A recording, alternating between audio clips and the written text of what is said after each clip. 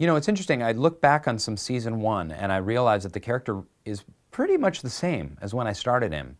Um, I think that he has evolved as a person over the last seven years. And that's been an interesting thing. I think he's not so much Michael's sycophant anymore. He's pretty separate and independent from Michael. They've had some falling outs. He's no longer interlocked with the character of Michael Scott.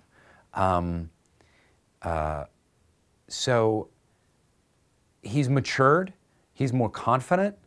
Um, he's more socially confident. He's more confident from women. He's become a little bit more of the alpha male, kind of testing his uh, his limits in the office, in the workplace, and uh, I think that's been interesting. But the character, in terms of the acting, is really the same. I think from season one.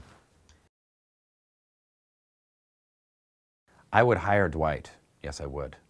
In a heartbeat, he would do anything. I could hire him for any job imaginable, and he would he would morph himself to the task.